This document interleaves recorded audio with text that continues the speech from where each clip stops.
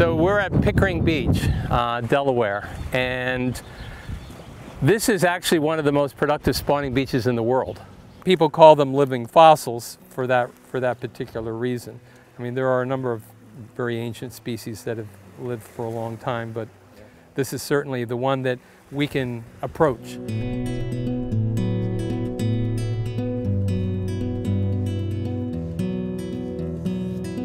Horseshoe crabs, uh, in, difference of their common name, they're not crabs. They're actually arthropods that are related to um, spiders and scorpions.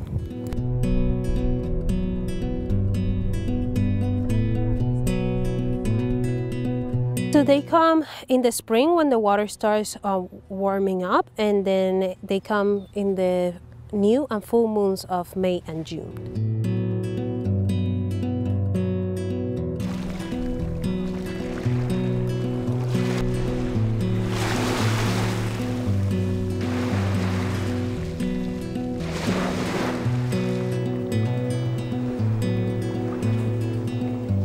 One of the things that has always been tested with this test is vaccines. So we've got vaccines around the world for all kinds of things, but we now have a whole new wave of vaccines uh, being produced and developed for um, the battle against COVID, and they're being tested on, uh, on the same test made from the horseshoe crab blood.